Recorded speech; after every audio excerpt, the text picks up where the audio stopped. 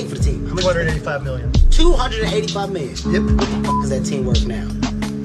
2.5 billion. God damn! Where'd you get the money? I started the first streaming company back in 1995. So the internet was happening, and I'm like, let's use this internet thing to figure out if we can listen to basketball games. Sold it for 5.7 billion dollars, and a couple of months later, bought the Mavs. What did you start that company? About eight thousand dollars. Are you f- kidding